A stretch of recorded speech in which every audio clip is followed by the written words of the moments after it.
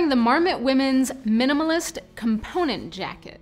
It takes a tried and true rain shell and adds a layer of insulation to make a big bad winter beast that can shift around in three possible configurations. Let's check it out.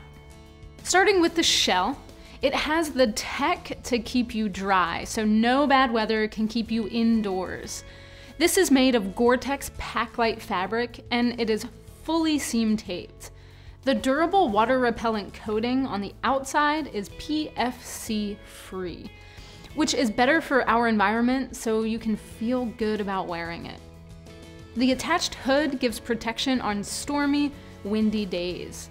It's adjustable to cinch around your head, so you can look right and left and not be blinded.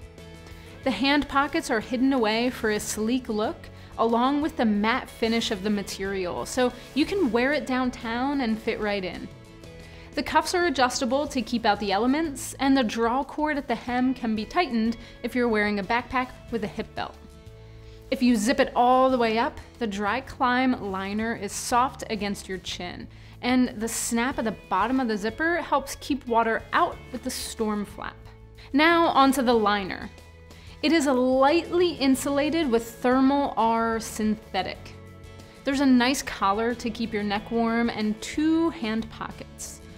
On its own, it would be perfect for a chilly fall day, and paired with the shell, it's a great system for winter. I'm wearing a medium, and it fits well over layers with Marmot's regular fit.